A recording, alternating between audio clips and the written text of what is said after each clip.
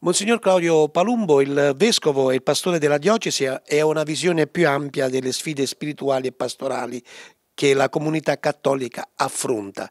Come affronterete la Pasqua nella diocesi di Trivento?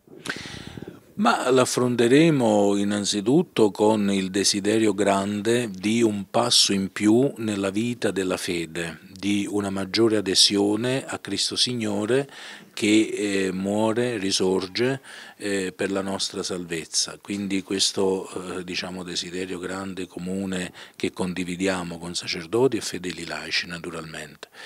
E i canali per questo poi che eh, sono a nostra disposizione sono naturalmente i canali della grazia, quindi i sacramenti e specialmente il momento forte della veglia pasquale dove noi riviviamo eh, con la parola di Dio il passaggio ecco, dalla, dalla morte alla vita, il nostro battesimo e in tante comunità proprio nella notte, nella veglia pasquale ci sono celebrazioni di battesimi o di piccoli o, o, o di adulti.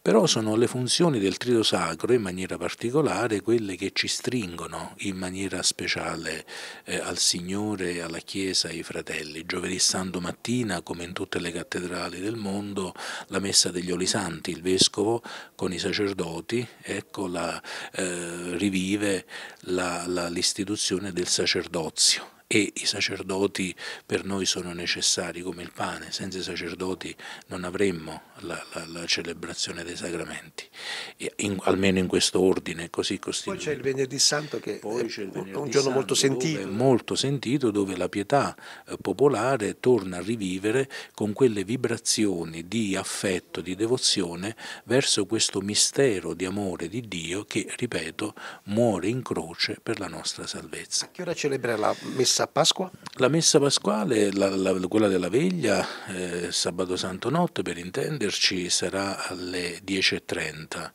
e all'indomani invece il giorno di Pasqua alle ore 11 nella cattedrale.